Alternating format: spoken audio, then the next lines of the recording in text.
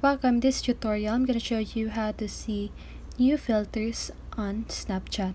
So if you want to know how I did it just keep on watching. So first of all you want to open your Snapchat app and now just go ahead and click on this smiley face at the right side of the capture button. And now just go ahead and click on explore at the lower right corner of your screen and now just go ahead and click on trending. And now you can see all of the trending filters that Snapchat has.